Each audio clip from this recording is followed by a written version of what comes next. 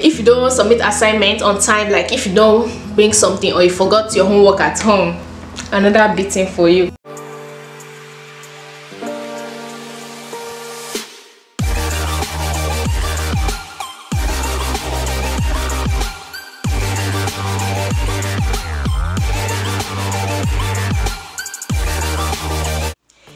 welcome back to my youtube channel. It's me your girl Pelumi and in today's video I am going to tell you guys a story and it's going to be about my Nigerian high school experience. So make sure you stay tuned like comment subscribe and share and let's get started. So when I was in JS1 I was 10 years old. I was just coming from primary 5 I didn't do primary 6 I skipped primary 6 so JS1 is like in Nigeria. JS1 in Nigeria is like the 8th ninth grade here in Canada. So yeah I was just I was little but I was so smart like I was very smart. So JS1 it went by pretty good you know I was passing my classes but in JS1 there was like a lot of drama. Coming from primary school I was really very stubborn. I was very playful so yeah I was very stubborn and playful and when I got to JS1 eh, I carried that character with me. So I used to get in fights in school because I just thought that I had to stand up for myself because I felt like these certain people were trying to bring me down. I was i was not having it. I was small but mighty. So yeah i used to get into fights and there's this teacher she told me that I, I need to stop fight so i was trying to avoid drama i was trying to avoid and i was still little boy i knew a lot because 10 years old in js1 that is like an advanced class so but you know in nigeria is like when you're 15 you're done with high school. But even without fighting even without playfulness like i was really smart. I got first position in js1 i was the first place in my class. Yeah i was really very smart. I was not good in mathematics then. I hated math. I hated math oh my goodness i hated math one of my favorite subjects in js1 was english. I loved english like i was so good in english. But even if even when i hated maths i used to pass with like 70 something in exams so that was pretty good for me then. I had to stop getting a fight and just think about what am i doing what is it so. Yeah and then i moved to js2 i was promoted to js2 is it promoted?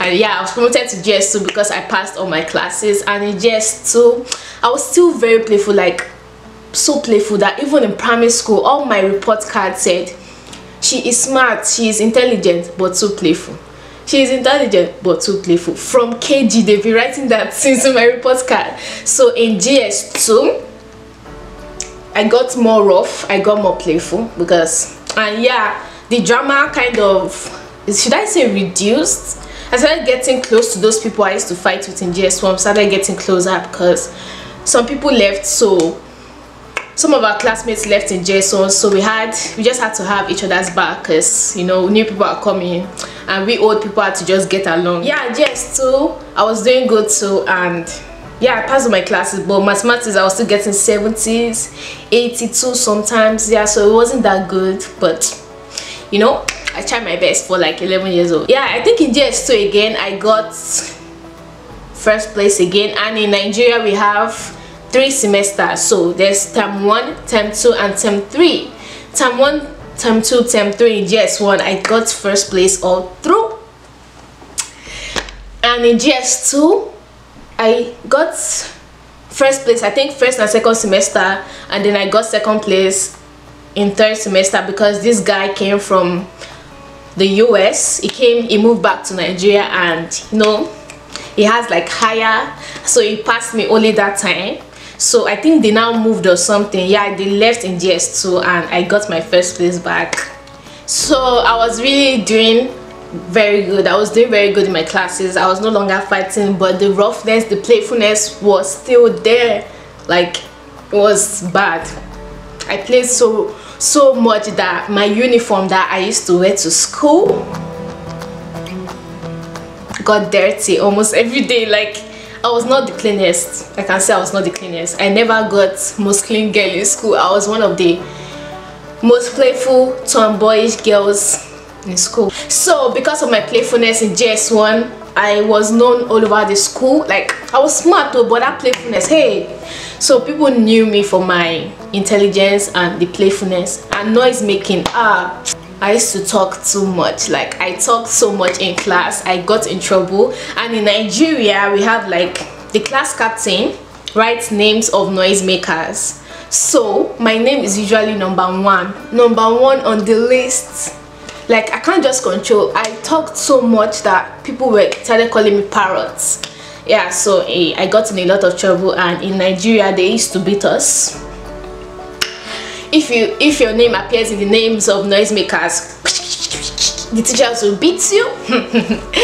And what again? If you don't submit assignment on time like if you don't bring something or you forgot your homework at home another beating for you. So i got in a lot of trouble for playfulness for noise making for homework. I did pretty good in my homework session. I make sure that i don't forget my homework because i always do my homework every every day. And in nigeria we used to take food from our house to bring it to school and then but there was a food vendor like you can buy food in school a person will be there cooking the food and no the person would have cooked the food and then they will bring it to school for students to come and buy. But I didn't really used to buy because I just took money for snacks because I already had my food. So yeah I used to share my food with my friends you know when they bring their own to from the woman that sells it. So I'll not join them and eat so in JS2 it was like we got more closer. All of us got more closer. We used to share food. We used to play together everything. About the exam section like my experience doing exam in Nigeria um exam almost always gave me anxiety.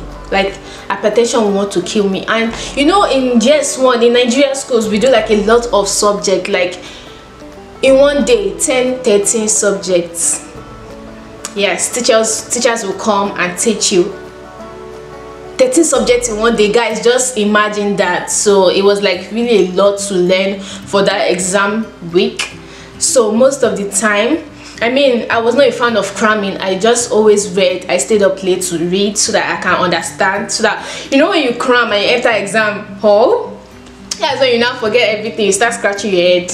But I always like read to understand. Sometimes I just crammed it. In CRK class, CRK is like Christian religious knowledge. So we had we used to write like a lot in CRK class. The note was so much. Like the woman, the woman during our break time the woman will be like please can i use more of your time we're like well i've written like 10 pages. We are tired please. The woman be like uh, just make small notes. And me i was one of those people that always wrote my notes. I was i was a fast writer. So anytime she was writing and the others didn't get it me i would have gone fast. So they would come and collect my notes and then copy from my notes because already i wrote so fast. So so the, sometimes if the woman will call me that i should come and take a note write it in my notes and then give it to the other students that didn't get it. So in crk class for exams i had to cram most times because the woman wanted us to write things the exact same way that she wrote them in her own notes. So most of the times i had to write them word for word in exam. I don't even know how i used to remember them. So one so one time the woman was like ah this me, she will give you everything you give her she she will write it word for word. That's why she's intelligent. I was just feeling myself. The exam was like 100 questions. If 50 to 100 questions yeah so. And you now have theory. Part 1 a b c d. Part 2 a b c hey god it was so much like whew, man i don't even know how i survived that but it was really a lot. It was a lot. Ugh, oh my god. It was hard like nigeria school is hard. You have to just be able to cope. That is why most of us that come from nigeria we are very advanced because we have gone through stress. We have gone through tough classes. We have gone through beat, beating of life. They beat us. I'll get right into that. Like i said i used to get in a lot of trouble. I was beaten like almost every day for my stubbornness noise making playfulness all of that. Just and again in nigeria your class if your class is stubborn or let's say that if one person does something wrong is the whole class that will suffer for it.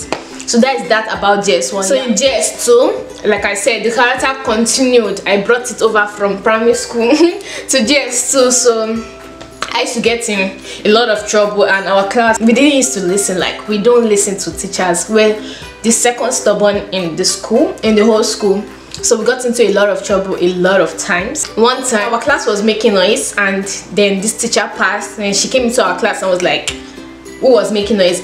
Nobody answered. So she said everybody kneel down. And then one by one we had to be doing frog jump. You guys know frog jump right? You hop. That punishment we had to do it from one end to another end. We suffered there as a class. We really suffered. And me i didn't used to cry when they beat me like you beat me I just used to chest it. If you're in Nigeria, chest means you take it, you don't cry. Like so yeah, I used to take the. It used to pay me, but it's not enough to make me cry. So most of the times the class would be like, let me go and take you first. Is it painful? So that was how the beating was. In JS2, everything went well. I got, I was still getting good grades. And over to JS3, that is, JS3 is grade 8, yeah. So JS3 we're like going over to the senior secondary school. When I was in JS3, I was 12 years old. I was still very playful, noisemaker, still getting first position. My I was so smart and playful at the same time. Like you know when you can balance two things at the same time that people are like, you're so playful, how are you getting good grades? Yeah, I was like that. I'm not bragging, but so in JS3, we have to start preparing for the exam that will take us to the next level of like that is like high school. Now we're high school not middle school anymore. And in JS3 I was taking like 14 classes or so. Yeah I was taking 14 classes. It was like a lot. The exam too was so tense. Was so hard. But I always studied for it so I ended up passing every time. Mathematics I always passed somehow somehow I used to pass. Yes so one time in the noise making aspect one time the teacher was like okay class captain this is your assignment. Take names of noisemaker write it down. So that day i decided to just be quiet in my class. I was like i'm not going to talk. This time let me just be different. So she the guy handed her the teacher the paper and my name wasn't there. She was like where's Pelumi's name? I was like i didn't talk. What do you mean where's Pelumi's name? She was like Pelumi's name has to be there. It has to be number one. There's no how this girl will not talk. I'm like, you can ask everybody. I did, I did not talk. I did not talk. Then she told the class captain that he either has to write my name or take the cane for not writing my name. I was like, I did not talk. Cannot be. So she was like, my name has to be there. That I have to take beating. I have to be beat. So I was like, okay. Oh. So she now beat me like two strokes of cane and she gave the others like five. I don't know so and again in my school after a while like they banned chewing gum. Like you were not allowed to chew gum or bring any sweets that had gum in it any candy that had gum in it.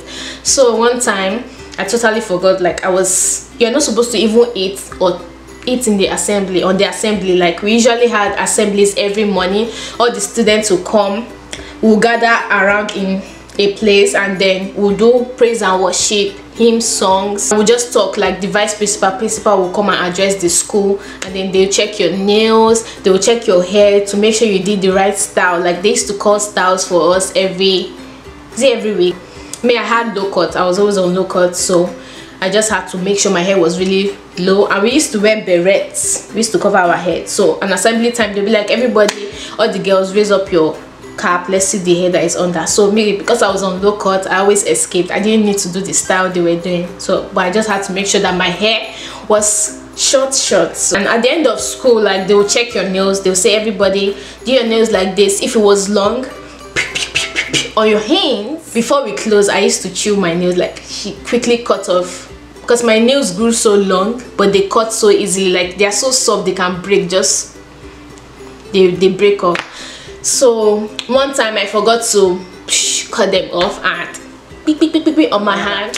So we took the um, exam that we're supposed to take to enter ninth grade that is ss1 i think i did 13 subjects so i got 10 a's and 3 10 a's and 3 b's so that is a pass so. So that's how my experience high school experience was and that was around the time i left. So after the exam i had to I moved. So I'm going to do uh, another story time telling you guys where I moved to. So stay tuned for that. But this video is just for my high school experience in Nigeria. Is it high school? That's not even high school. In Nigeria it's high school but here over here is like middle school. But my but my high school experience in Nigeria overall was so fun challenging stressful make sure you subscribe. If you like this video give it a thumbs up like it please and share to your family your friends everybody. Let them know who Pelumi is so that they can watch my videos. Guys thank you for 1000 subscribers. Thank you very much for everything and i'm going to see you guys in my next video. From me it is see you again. Peace and love guys. Bye